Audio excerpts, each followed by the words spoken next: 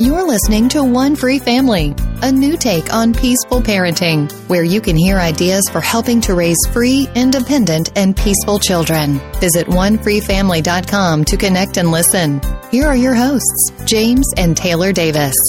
And we're back with another episode of One Free Family. This One is James. free family. This is Taylor. And we are super pumped to talk to you all today.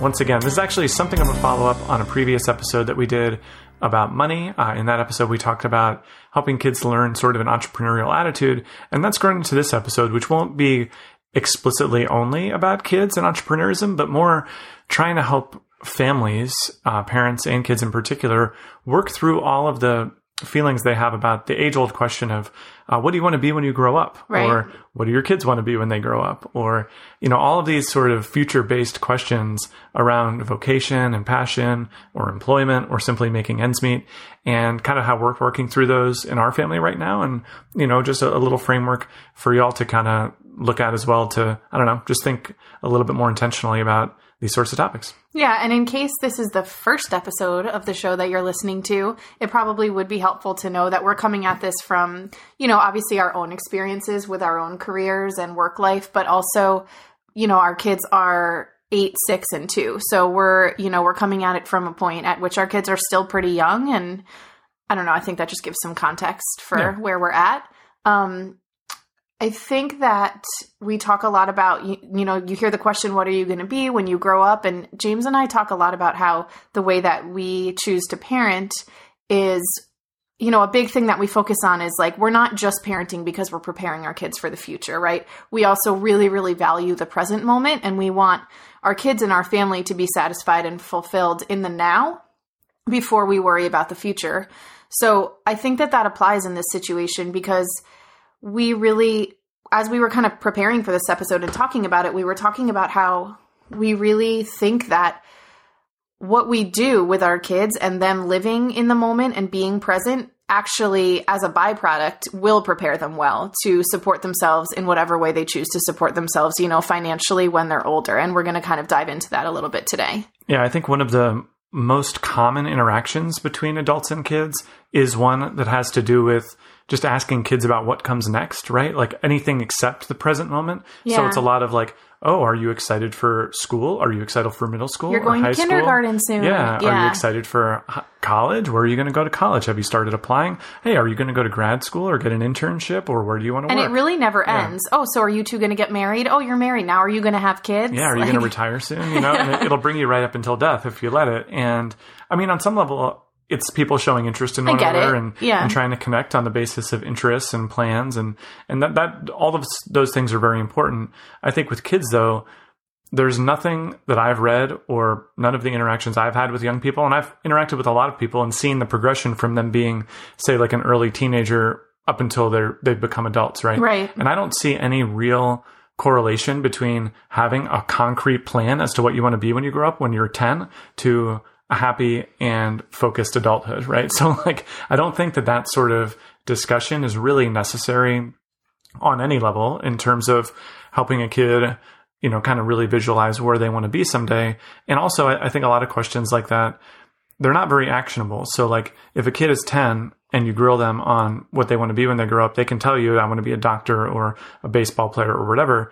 But unless we're really talking about taking steps to move in that direction, I actually think it just kind of begins the process of layering anxiety onto kids about or this ex- laying expectations on them that Yeah. they feel almost obligated to fulfill. Or yeah, whether they do or not. I mean, yes, because sometimes people will like I've heard the kind of the laughing comment. I remember when you used to say you wanted to be a research scientist, ha ha ha. You know, like this kind of know-it-all tone that people can take with young people sometimes. But I think many cases it's it comes from a very good place again of wanting to get to know someone, but it just kind of a confusing question in general, right? Like kids, especially very young ones, have no idea what it means. They're living to, in the moment. yeah. Yeah. And they, they don't really even want to think about their big term hobbies or their interests that way just yet. Like they just want to be present with them. And, and so I think when we're thinking about trying to equip our kids for the future, one of the very best things we can do to start is to not make the future seem so ominous and so important. Like mm-hmm. let the, you know,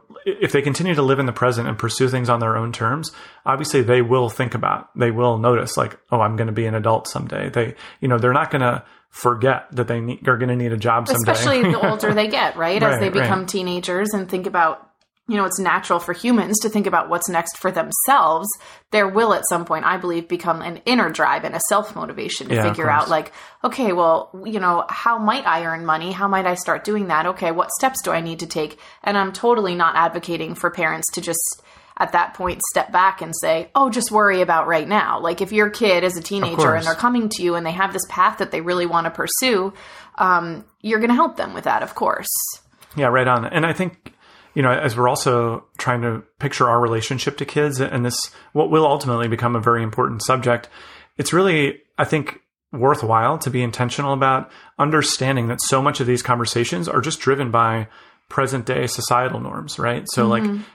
30 years ago, when people were asking young kids about what they wanted to be when they grew up, things like being an online entrepreneur wasn't even an option, Yeah, right? it didn't so, like, exist. it would make no sense to come to someone in their 30s now and say, Hey, you never said you wanted to be an online entrepreneur when you grew up because again, that category wasn't even a thing yet. Right. Right. And so when we ask kids, like, do you want to be a doctor or a lawyer or like, you know, whatever kind of cliche occupation that feels like making it is in, in whatever society you're living in, we run the risk of helping them to think inside of a certain very specific box Right. that comes not just from our society, but our own personal life experiences. And I, I think that's also why it's worthwhile just to kind of take a step back and realize like whatever is currently going on in society could look totally different. Right. And instead of trying to help them aim at a target that's in the present, but try to get there in the future, maybe trying to equip them with a way of thinking, a way of being. a way of approaching Yeah. Their interests, right? In a way of just approaching life that allows them to follow their interests and accomplish goals that they set for themselves. Yeah, sure. Like, so in the 90s, when becoming a computer programmer became a much more realistic occupation for a lot of people, that a lot of that wasn't because those people were told, hey, well, if you work on these typing skills now, you can program, you can invent Yahoo and make $40 billion or whatever.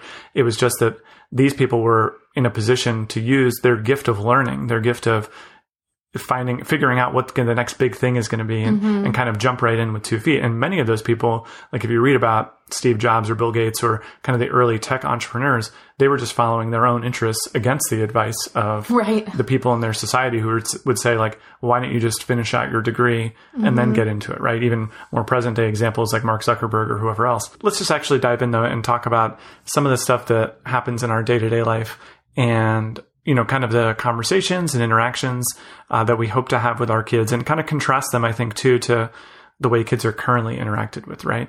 So I think one of the primary things for us, and again, this is, this might wind up being more specific to our lifestyle than universally applicable, but I think it actually applies to other people in other walks of life as well, is that so many of the unintended lessons that kids learn from the time they're very young is to defer to authorities, right? So Kind of tell them what to do next and how Mm-hmm. to act and what to be interested in. Yeah. Right. So from the moment that they are born, in many ways, there is some sort of boss figure, right? Right. Um, and so, you know, a value for us is to helping our kids to be more autonomous.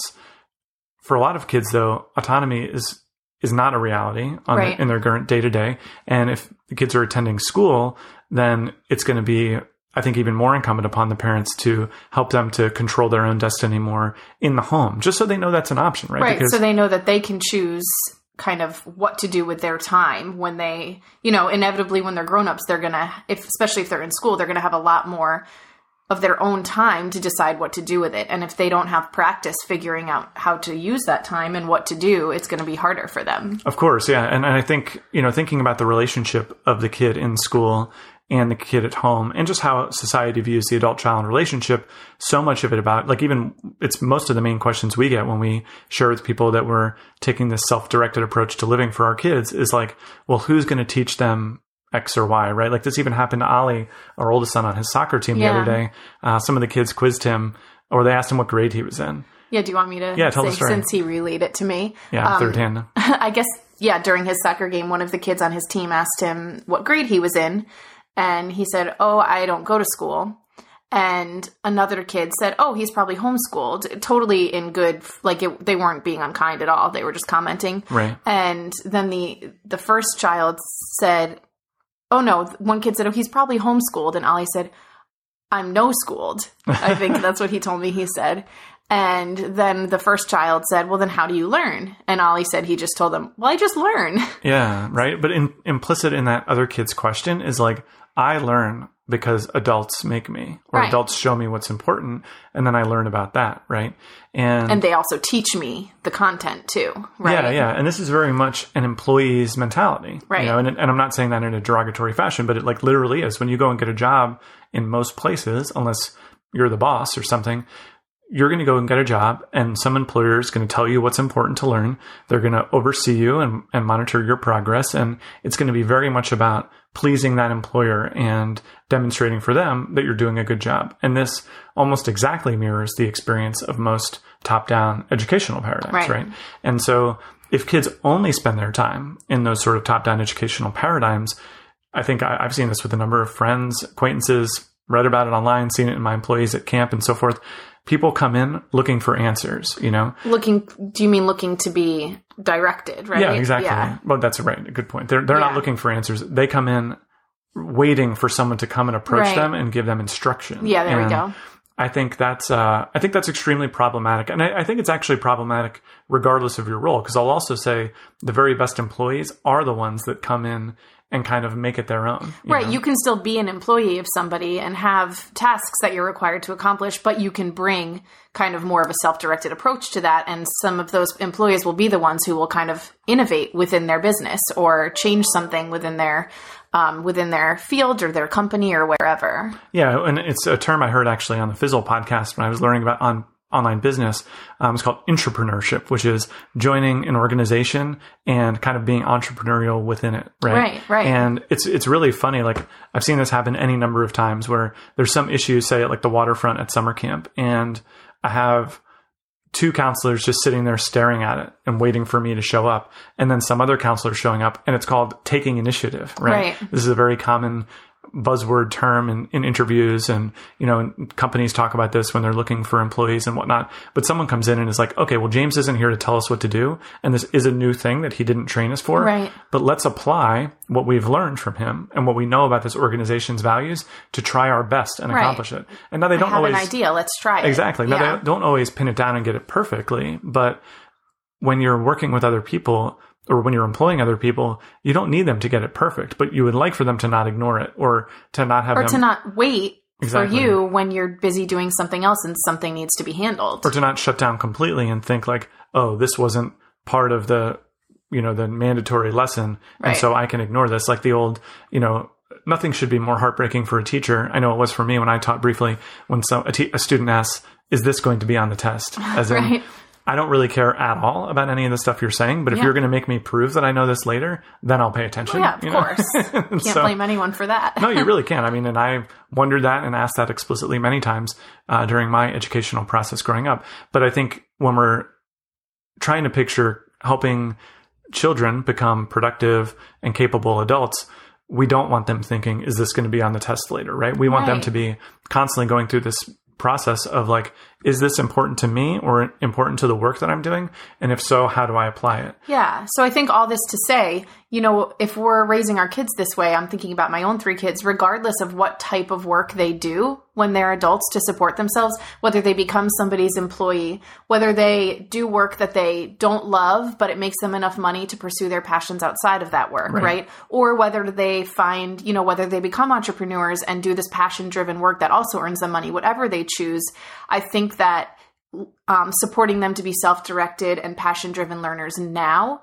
will set them up for more um, success and satisfaction in whatever path that they take. Yeah, exactly. And I I think that the opportunity for helping kids grow in that area is still ultimately totally there for schooled kids as well, because I do too. they're going to have all this time when they're at home, all this time on the weekends and during summers and so forth. And I think it's why it's even more important to not load up and double down on, you know, kind of mandatory or, you know, adult led or adult driven exercises, right? After school and in the summer Yeah, and things exactly. like that. Because Yeah. kids will ultimately land on something they're really excited about. And helping people to understand. So, like, I guess I'll equate it to when I first started learning to play poker because none of this sort of self directed knowledge or self directed pursuits thing came supernaturally to me, I don't think. Like, mm-hmm. when I was young, I went to school. When I was in employee places, I was not a super great employee. I was like pretty effective in the jobs just because I was like a cashier and, you know, mm-hmm. doing unskilled labor and whatnot. But it wasn't really until I wanted to make money playing poker that I was doing something where no one handed me a playbook, you know? Right. Because I'd gotten pretty effective at taking the playbook and running with it, right? Like when we were working at summer camp, I was pretty good at our first summer camp gig at doing what my predecessors had done and maybe slightly giving it my own flavor, Right. right? But I, ultimately, I was doing, if you zoom out, the exact same job that my predecessors Yeah. were doing, like when I was, you know, managing small groups of employees at camp or whatever else. But in poker, I came in and there was literally no playbook at the time. Right. There were some books here and there, but poker is this live action environment where you constantly have to be thinking because no poker book can have five million examples. Every right? scenario that could possibly come up. exactly. Yeah. So instead, good poker books give you a way of thinking about things. Sounds and like parenting books. yeah, right. Well, exactly. And people will try with parenting to say, here is your tools for being a good parent.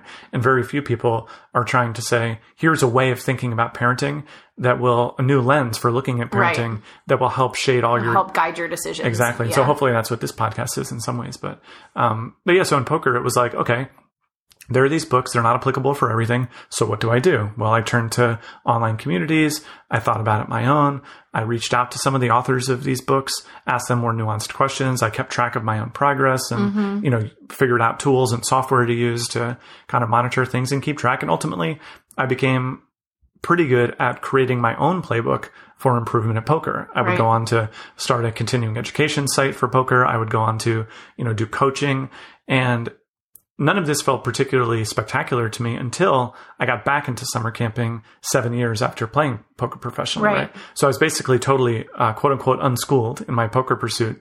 But when I came back to camping, I realized that that old playbook that I had been using for camping in the yeah, past. It, it, Yeah. it was obsolete in the past, much less Right, 10 much years less- later yeah. when I was using it again. But all of a sudden, I could think back to, oh, yeah, well, when I got into poker, I didn't know what I was doing in that either. And I would recall the steps that I took. Okay, well, what did I do? I reached out to experts. I tried to find written materials. You know, I, I did this guess and check thing. I talked to other people who were successful in it. And sure enough, that playbook that worked for poker worked in camping too. And Right. we had tremendous success, success there as well. And so I think it's, uh, I think you run a pretty significant risk when you get in the habit of just handing your child playbook after playbook rather Mm-hmm. than trying to take a step back and think like, how good is my child becoming at developing their own playbook? Right. How can I support them to learn how to develop their own playbook? Right. And so it becomes less about, at least for me, when I'm thinking about our kids, it becomes less about the actual um, content of what they're interested in and what they're pursuing, and much more about supporting them to learn how to dive into their passions and supporting their, um, you know, their exploration of problem solving techniques and um, learning how to get more information when they need more information. So, you know, over the course of our children's lives, that's going to happen around so many different topics and content areas, right? Just depending on what they're interested in at the time. Um, so it's there's so many opportunities, I think, for them to develop that playbook for themselves about like how do I pursue something I'm interested in? How do I get more information about this? How do I deal with this problem that came up when I was trying to accomplish this goal? And then that all kind of builds on itself, you know, up until and throughout the time that they're adults, I would say. Yeah, and I think really inherent in all that too. I mean, you talked about how do I accomplish this goal? This is also where the entrepreneurial mindset contrasts to sort of the employee's mindset because mm-hmm. very often when I've been an employee and working for someone else, the employer's goals sometimes feel sort of arbitrary, right? Like they have, they've set forth this, you know, goal that they made up. Sometimes they do a better job of explaining it than others, but they come forth and they want to say, okay, here's what our company's goals are, or even something basic like, here's what a clean bathroom looks like to me when I was doing mm-hmm. like janitorial work at that same camp, right? And so you come in, and even if you can picture what a clean bathroom looks like, you don't really care about the most efficient mopping techniques because like you just want to get the bathroom clean and be done. Right. You know? But in self motivated pursuits, I feel like I've had a different standard for excellence that I wanted to pursue, right? And this yields a totally different approach to learning than being told what to do. And I think Right. uh, helping our kids to have as much space as possible to define their own goals, even if they're goals in in pursuit of something that we find confusing or maybe or that we don't we can't find value in. Exactly. Right. Yeah. So like, per, you know, for a lot of people, video games fall under this category, right? Like they can watch their child pursuing expertise in a video game or watching, why would you watch someone else play a video game? You know, Right. all these other sorts of questions. But they're studying. they're studying. Yeah. And they're, they have a goal and they're having difficulty accomplishing their goal just by sitting down and playing. And so they're seeking outside source materials and, you know, checking in with experts and all these And the cool things, part you know? about yeah, the cool part about I think supporting self-directed learners now in 2018 is that there's so many ways for even like even children who don't read yet to learn what they need to learn to do what they want to do. Like I mean, we all use, I'm sure almost everyone listening can think of a time they used like a YouTube video to learn how to do something that they needed Right. to do, right? There's so much there's so many amazing resources out there that are so accessible to pretty much anybody to help them pursue their interests. And that's super cool. Well, and another really cool thing that I like to point out to our kids and just to people I know in general is whenever you hear someone saying, I was trying to look up how to do X and I couldn't find anything, my response is, that sounds like a business idea, you know, because chances Yeah. are good. And I, I, this has worked. This is explicitly how we created the business that pays most of our bills now, which is we were in this space, daily fantasy sports, which I, you know, isn't my big passion or anything like that. But we noticed, my friend Doug noticed that there were no good content creators in this field that were satisfying his needs as a consumer, Right. as someone who wanted to learn how to do this better. And so what we did was get good at it and then teach other people. Right. And this is like a really cool thing about being self motivated as well is like when you're out there in the world trying to figure out what's important to you and you know trying to figure out how to be better at the things you like inevitably you will hit those roadblocks and if you want you can step right into that as an entrepreneurial opportunity and i think Right. you know for our 8 6 and 2 year old that's not going to be as applicable but you know helping them have that on their radar because this is how like if you think about many of the really big good businesses that are out there in the world right now this is how a lot of those got started and most people sit there and they go why didn't i think of netflix you know yeah. but the creators of netflix thought why do i have to drive to blockbuster to go get a video Yeah. you know and i think that's really the, the entrepreneurial mindset that we again even if our kids wind up working for someone else someday Mm-hmm. that that will really serve them I think so too. Yeah. Okay, so let's uh, go back real quick because we touched on this earlier and we didn't actually pin it down, I think, as concretely as we hoped to when we were planning the show. And this is around when our kids do start sinking their teeth into something, right? Because Into a passion. yeah, yeah. So they start getting into something and you've been listening to this podcast and you're like, ooh, is this something that my kid might want to think more entrepreneurially about? Or Yeah. is this something that might be the thing that they go really deep on and it becomes their big passion where they practice learning and all that stuff? Like, talk about our experience with that. yeah so i think that's you know as a parent that's naturally that's a really natural reaction to have right? You see your kid especially especially even more so if it's something that you love or something that you value right? But you see your kid get involved get getting interested in something and you start to like connect the dots in your head and you know look into the future and think like oh my gosh this is going to be the thing like they found their thing. And i really I have learned in my experience with our kids so far to back off of that a little bit because I find I have learned a f- multiple times that the minute I get those thoughts in my head, how it um, manifests in my actions is that I start becoming a bit overbearing with them about that passion or interest. And inevitably, I, I start to turn them off from that interest. You know, all of a sudden, it's not theirs anymore. I've kind of taken it from them and layered this expectation on top of it. You know, I've kind of labeled them as like, oh, you love dinosaurs or whatever, you know, and maybe you're going to be An archaeologist. an archaeologist or something, right? And you know, I think it's fine to mention, you know, like, oh, there's actually grown-ups who like do this as a job just so that they, you know, they know it's out there and they know it's an option someday.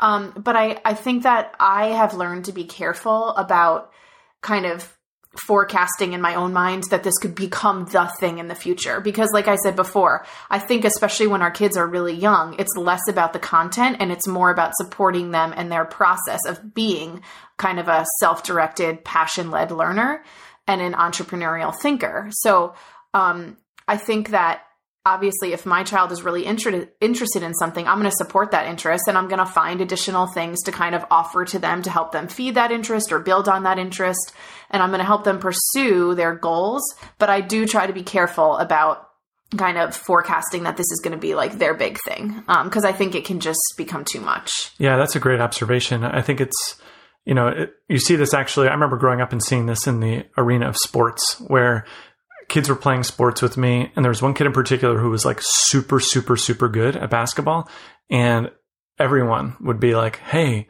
you should think about going to the NBA someday," and like he would be like, "Yeah, that would be fun," and and all that kind of thing. But in thinking back in hindsight, I feel like he was trying to have fun playing basketball. Right. And everyone else was trying to turn it into his career. But the problem is like, I feel like a lot of people who wind up having a really offbeat sort of career it's not that they were sitting there thinking in this calculated fashion, like, hmm, if I sit down and just practice violin for the next 50,000 hours, like I could be a professional violinist. It's like the violin spoke to them in such a way that they couldn't help but not but play engage with it. And right. they loved it and they engaged it so hard. And then after a certain period of time, they realized they had achieved a certain level of expertise via their own passion and that now they could bring that to bear in some sort of professional capacity, right? And there's going to be exceptions to this. I mean, there are certain careers that you simply must work hard at from a young age in order to be a professional at, right? right. And maybe basketball actually is one of them. But for basically everything else, like the amount that a kid wants to engage it is enough. like, right, right. And I think, right, that's the thing. And then the minute that we start laying on our adult expectations of like, well, if this is something you really love and you want to be good at it, you should probably be practicing yeah, it three hours you up for a ski day. lessons. And, And, yeah, yeah, I think you kind of you, you kind of rob them of experiencing it in their own way. And it's not malintentioned when parents do this at all. Um, it's because you want to, you know, we want to support our kids to accomplish things and we see this excitement that they have about something. But I've learned to be very careful because if I get too invested like that, I think I often ruin their excitement. And you had me thinking too when you were talking about this kid with basketball. I also worry about people like that because I worry that in a story like that, when that person, if that person does not become an NBA player, Mm. Or does not see themselves, you know, they get to a certain age and they're not going down that path, what kind of baggage do they now have to deal with of like, well, have I failed now because I'm not doing this thing that everybody said I should do just because I'm good at this? Or if they just choose that they decide they don't like it enough, you know? Yeah, well, it's interesting. There's another guy. This guy actually went to my college, and oddly enough, it was also a basketball thing. But he showed up at this one in, random intramural basketball game, and the guy was like probably six foot one, had like long hair. You know, would wear baggy jeans around campus. You would never have guessed he was a great athlete or anything like that. But he showed up to sub on this one intramural basketball team and came in and was like dunking with two hands and like doing all this stuff, and everyone's like what the heck is going on? Like this guy Ron is like insane at basketball. And so I remember going up to him with like a bunch of other people after the game being like, dude, what just happened out there? you know? Right. And uh he was like, Oh yeah, I used to play basketball in high school and like, you know, my parents wanted me to go and play in college, but I just didn't want to. He's like, and now I'm just like honestly totally sick of basketball. Right. And being told that it's I'm this huge waste of talent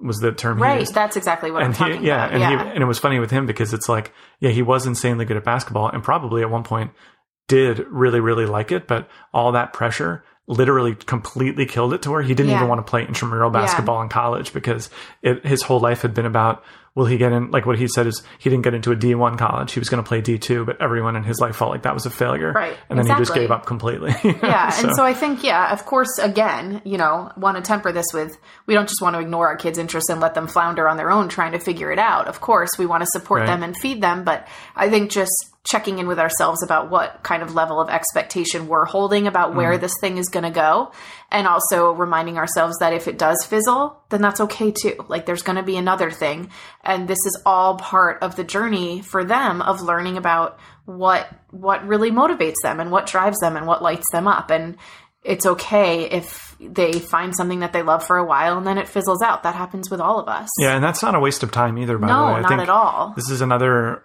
question I've heard asked in sort of a snarky way. Actually, people have asked me this uh, in regards to poker. Like, do you feel like you just wasted all your time getting so good at something that like kind of doesn't matter? I mean, they Right. haven't asked in those exact terms, but like that implication has come through. Like the wow, you spent a lot of time on that. And it's like, yeah, I did. It was fine. You know, like Mm-hmm. yeah but you, you even just talked about how learning to approach it in that way totally prepared you for like your next the next work that you did at camp right Well, it did 100%. And even if it didn't, I think it was still okay. You know, like Of course. even if other people couldn't look from the outside and figure out what was so great about it that I wanted to invest so much time. Like sometimes your hobby is just your hobby. And I think many people don't take enough time to really look deep and figure out like what aspects of their hobby they're bringing into the rest of their lives because Right. this is a another observation I've heard in a from actually a professional Magic the Gathering player uh, where he said that he's gotten super good at a number of different things and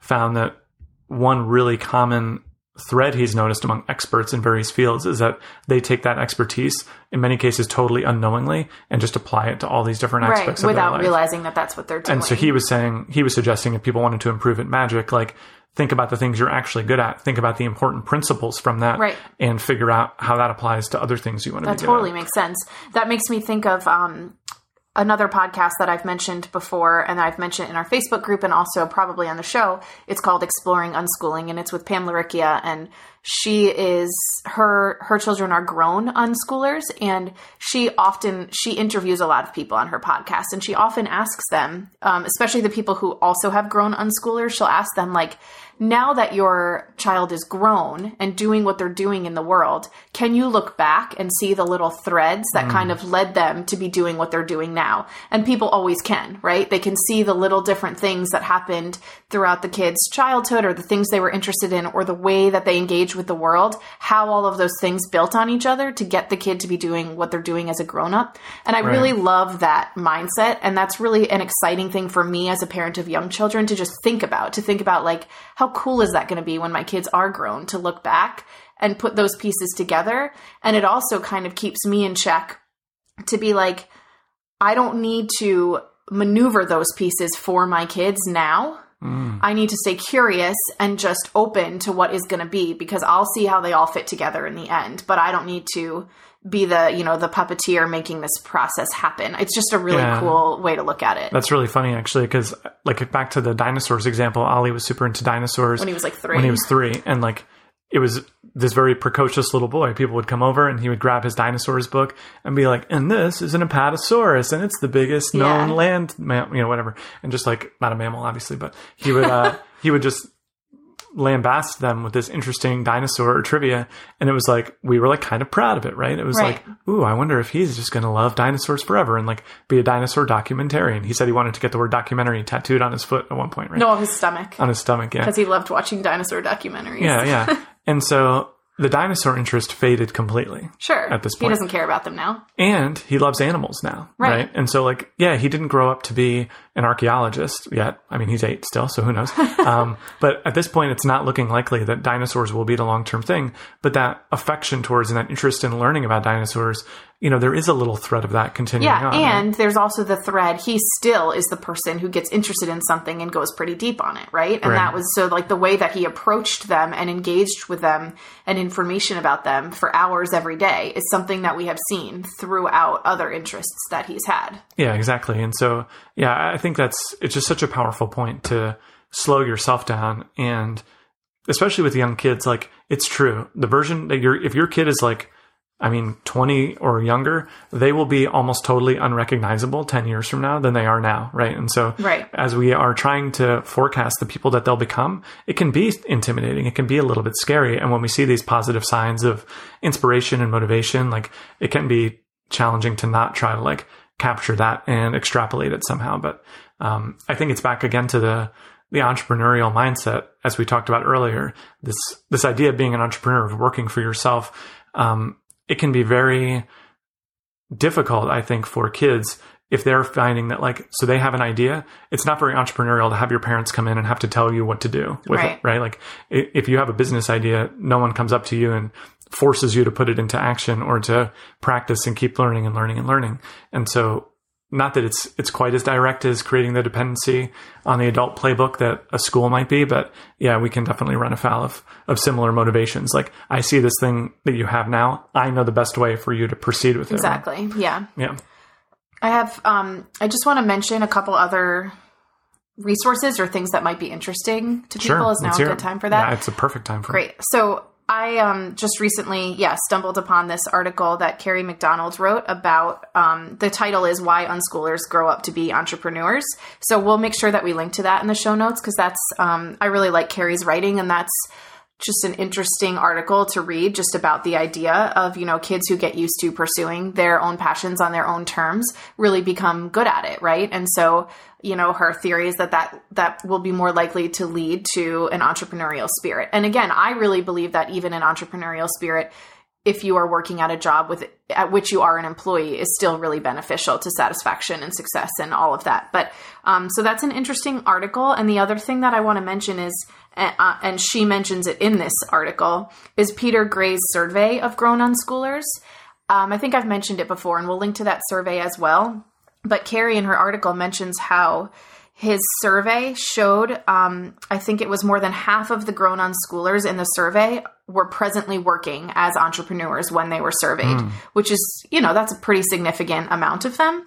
So that's somewhat interesting. And also she also mentions that many of the respondents indica- indicated that the work that they were doing was directly linked to childhood interests that they ended up following into adulthood and these are all unschoolers who were surveyed. So it's just kind of an interesting little bit of research that's been done on this as well. Yeah well i think that's pretty compelling. I mean 50% is a huge figure and i don't know if in my mind, I would project 50% of all present unschoolers to be self-employed entrepreneurs someday. That just seems really high, but you know, maybe, maybe it will work out that way. Nonetheless, I think it's compelling that there's at least some level of correlation there. But I also liked, you know, just to harken back to this point a little bit more, like you mentioned the idea that these people are doing things based on interests found in childhoods. There are a lot of fields out there where being an entrepreneur is not really like a thing that most people will have access to, right? Like, so if you're going to work in summer camping, it's going to be really hard without some sort of financial backing to just start your own summer camp right. from scratch, to buy your own facility, to erect your own tents and do the whole thing. Yeah. Get approval from the government and all that kind of stuff. It's rather expensive. And so, but for many organizations like that, having worked in summer camp consulting, they are looking for people that can come in and say, okay, how do I look at this problem? Okay, well, the camp is successful in this way, but struggling in this way. How can I figure out how to get this more successful right. in terms of the year round business? Oh, I know. I'll call this other camp that does well in the year round business in Georgia that I formed right. a connection, right? So it's that entrepreneur thing. Again. Yeah, exactly. Yeah. And I think that that level of approach to problems, it's like, I think one of the main takeaways I hope that parents take away from this episode because it's so much less about, you know, you know, creating idolizing entrepreneurship or yeah. putting forth entrepreneurship as like the way to have a self actualized, happy, financially successful life. That, that's not the point whatsoever. The point more is that if we help our kids to think entrepreneurially, which is to say to think about solving problems on their own, to think about what's important to them, they're more likely to find themselves A, in careers of their own choosing rather than you know, kind of what they happen to fall into, or heaven forbid, they wind up developing a lot of skills for that then they feel like they have to pursue because they've right, sunk because so much cost so into much it. time and energy yeah. into it and which, maybe money. Which yeah. happens to no shortage of people. Like, you know, even if you've ever heard someone say, uh, like, hey, where'd you go to school? And you say, oh, I went for this and this, but I'm not using my degree. Like, mm-hmm. there's a mm-hmm. level of shame that people work through on that, I think, in many cases. And, right, so it's about equipping people with the amount of self knowledge to pursue the things that they're interested in. And then once they become some, part of some organization, whether it's an organization of their own making or one that someone else created, being able to think for yourselves and really challenge the baseline assumptions is a skill historically that is always translated to being employable, you know, right. to being valuable yeah, to an organization. And all of the, like the little technical skills that we think are important now, like who knows what they might be, right? Like uh, when we grew up, it was like writing in cursive, you know, or. Um, well, right. And that's changing even faster now, right? Exactly. That changes exponential. So we have literally no idea what even fields are going to exist for our kids. Yeah, some level of tech, whatever technical skill that appears to be important that everyone learn into the future, we have no idea what will be important. But we do know that these sort of softer skills, less tangible ones like being self motivated, um, being able to think clearly about the problems that a business is facing, those almost certainly will still be relevant. Yeah. So, yeah, so that's uh, sort of like entrepreneurship, but also a case for helping kids to be more self motivated, yeah. self directed, and uh, yeah, some of our experiences in, putting those into practice. So, hopefully, exciting stuff. You enjoy. I liked talking about it. Yeah, you did a nice job. anyway, oh, thanks.